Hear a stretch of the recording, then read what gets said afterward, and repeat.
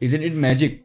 Just by giving prompt, you can scrape any person LinkedIn URL and you will get exact information like the name, role, connection, company, LinkedIn URL, snippet, and when it was scrape at. And if you watch my earlier video, just by passing LinkedIn URL, you can scrape their LinkedIn profile, all the information from LinkedIn profile, as well as their whatever post they are making. Just think of combining this both the workflow and you have a thousand to five thousand dollar workflow ready to pitch to any client. So today video we are going to see how we can make this possible and stick to the end because then I'll be showing you how you can download this workflow for 100% free. So let's get started.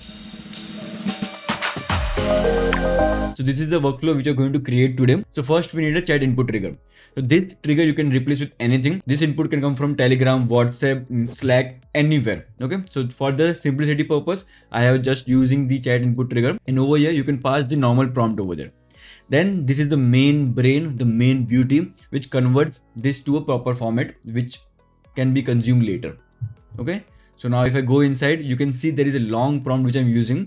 The main purpose of this prompt is to extract the information from whatever user is saying. So for example i have given the example below. So from an example you can see i am giving the input find founder on linkedin who raised series a in last six months. We want to search for series a recently funded last six months raised raised funding okay? And keyword is founder ceo series a funding startup. Okay? This is how intelligent it is to transform the normal raw text into the proper data which we can use ahead.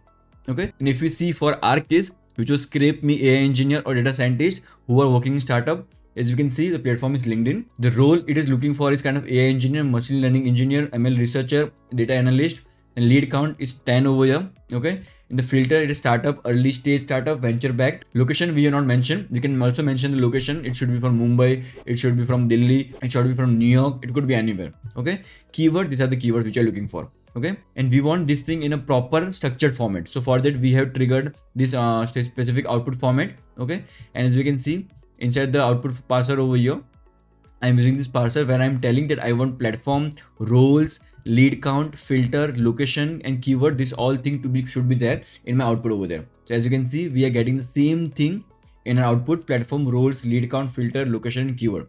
And for the model, I'm using GPT 4.1 mini. Okay. And to get this node, you can go in the plus icon, search for chain, and you will get this basic LLM chain okay? So if you are worried about this prompt where you can get this prompt stick to the end because i'll be showing you how you can get this workflow and all the prompt or code which i'll be using in the upcoming part of the video. So once now we have this information now it's time to convert this information into the Google search format where we can search for the LinkedIn URL. For example, this is one of the search it will make. It is something like we are saying that I want to search from this site, linkedin.com. I want to search for uh, senior data analyst and it should be kind of remote work. If I search this, I'll get all the results from the, from the LinkedIn channel only because we are searching for LinkedIn part over there and it will search for the senior data analyst over here. So as you can see, home data analyst and something like that. Okay. And now if I search this kind of uh, UX designer in Google, Meta or Apple, now now you can see we are getting all this information regarding this part only. Google uh, user interface designer then apple ux job then the uh, ui ux portfolio uh, from designer at google google ux job in bangalore karnataka. So as you can see we are getting information what we are searching. This all information need to be converted okay? So for that purpose only we have this node which is the specialized to for linkedin search builder. So now if i run this part so as you can see we are getting this search query where it is saying that from LinkedIn, I need a AI engineer, machine learning engineer, data scientist or data analyst or ML researcher from a startup or early stage company or venture backed. So the code over here is doing this thing only. It is taking the input from the AI query parser and converting into the format where we can search properly. Now, once we have the search query, now it's time to use the Google search engine, which is called as SERP API. So SERP API is the API which allow us to search Google by just passing the query over there okay so how to go over there? So for that you can go online search for serp api and you will get this serpapi.com slash dashboard. We just need to do the sign in and by default you will get the in a free plan you will get 100 searches per month. I think that's enough for you to get started. So it will ask for the free plan. We need to verify account. So you just verify account with the email id and phone number okay? So once you have confirmed your email id and your mobile number you will bring to this dashboard. So as you can see i have 100 searches left over here and there is my api key over there just copy this API key. Don't show it to anyone. If you want to, you can show it to everyone because they can only do the 100 searches. Okay. So once you copy this uh, API key, so now it's time to do the searching. So for the uh, so for the searching, our method will be get and this will be the URL serpapi.com slash search.json. Okay. In the query parameter, we need to search uh, using uh, field below. then we need to pass name as google in the queue queue means query what we want to search we passing whatever uh, query search we had generated in the api key just pass it api key over here but i have a very amazing trick for you. Never ever pass your api key directly over there because there are two possibilities i have mentioned the same thing in the previous video I'll, i will repeat it because it is that important okay? Two possibilities are there.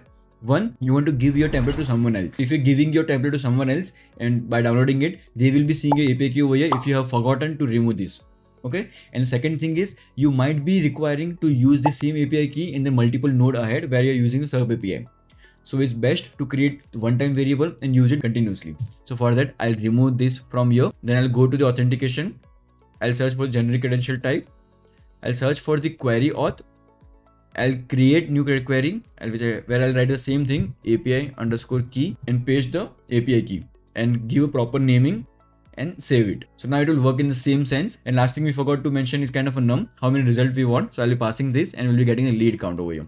And now it's time to execute step. Now if I execute it, I'm getting all the result over here. Okay. So now you can see there are too many results over here. And in the organic result, we'll, we'll be getting our main result over here. And you can see we have position, title, link, then display, snippet. This so we need to format this thing properly. So for that, there is one code over here, which is doing the job of formatting. So if I execute this part, so now as you can see, we're getting the data in proper format. We have the name, we have the role, company, how many connections, LinkedIn URL, snippet, scripted, everything over here. Okay. I'll tell you how you can get this code. Don't worry at the end of this video. Okay. So now once we have this thing, now it's time to store in our Google Sheet. So in Google Sheet, I have mentioned this all column where is the name is there, role is there, connection, company, LinkedIn URL, email, snippet. Okay. So once you have everything, the column ready, it's time to come over here, map each column uh, manually. And it's kind of operation is kind of append operation, append row. Okay. So we need to append the name, role, connection, company, LinkedIn URL, just drag and drop from here and here. Okay. And when you execute this step, this is how it will look like. So just tell me in the comment, how did you like this workflow? Because this is amazing workflow. You can just give the natural language query and it will process all the data and give you the script result over there. And now if you combine this thing with the earlier video which I have made where by just giving the LinkedIn profile, you can get all the LinkedIn profile information with the post information as well. Now it's time to see how we can get this workflow. So for that, you can go to my Skool community. Inside of Skool community, you can go to my classroom, YouTube resources. Now you will be seeing this LinkedIn lead scraping automation where you can see the same workflow which we have you can see the AI prompt which I'm using. The whole prompt is over here. Then there is a LinkedIn search builder. The, the whole code is over here. Lead data formatter. The whole code is over here. And if you don't want to copy and paste everything over here, you can just go in the bottom part. You can just click on this n8n template and you can have everything over there. You don't have to do manually. Okay. You can just click on it, download it, and you can just run on an n8n workflow. So I hope you like the video. Please press the like button, subscribe to my channel. It helps me to make such videos for you. It motivates me and also helps the YouTube to push my video for more people who wants to look such kind of a content. So we'll meet in the next video. Till then, take care.